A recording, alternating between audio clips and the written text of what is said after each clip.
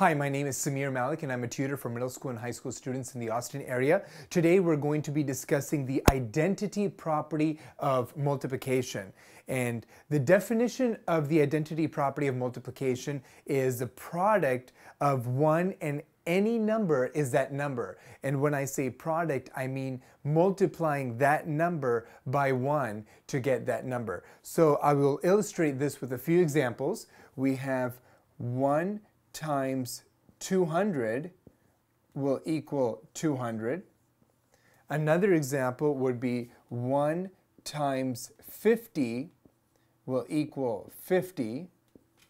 And another example would be 1 times 3,000 would equal 3,000.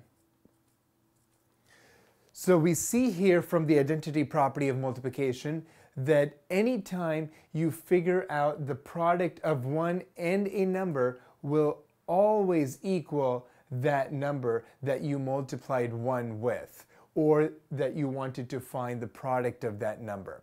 This is the definition and a few examples of the identity property of multiplication.